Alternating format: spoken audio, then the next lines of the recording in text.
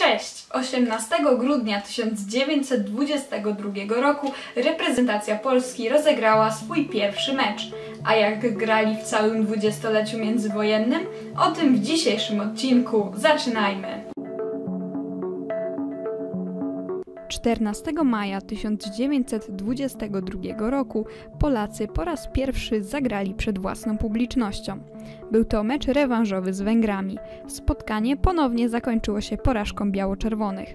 Pierwsze zwycięstwo nasza reprezentacja odniosła 28 maja tego samego roku. Wtedy to zespół pokonał 2 do 1 kadrę Szwecji. Pierwszą historyczną bramkę dla Polski zdobył Józef Klotz. W 1924 roku biało-czerwoni zadebiutowali na letnich Igrzyskach Olimpijskich w Paryżu. Tam z turnieju odpadli już w pierwszym meczu, w którym ulegli 5 do 0, a jakże Węgrom.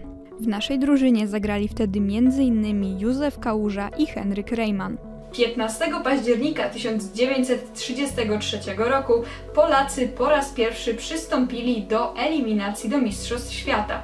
Początkowej rundzie zmierzyli się z Czechosłowacją. W pierwszym spotkaniu biało-czerwoni odnieśli kolejną porażkę.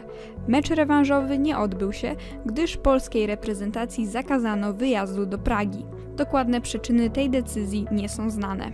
W 1936 roku Polacy zajęli czwarte miejsce na Igrzyskach Olimpijskich w Berlinie. Wkrótce naszej drużynie udało się przejść przez eliminację do Mistrzostw Świata. 5 czerwca 1938 roku Polacy po raz pierwszy zagrali na tym turnieju. Ich przeciwnikami byli Brazylijczycy. Spotkanie zakończyło się porażką biało-czerwonych po dogrywce 5 do 6. Cztery bramki w tamtym spotkaniu zdobył legendarny Ernest Wilimowski. 27 sierpnia 1939 roku Polakom po raz pierwszy udało się pokonać zespół Węgrów, czyli jak już pewnie zdążyliście zauważyć, jedną z najlepszych drużyn tamtego okresu. Kolejny mecz naszej reprezentacji zaplanowano na 3 września, jednak z powodu wybuchu wojny spotkanie się nie odbyło.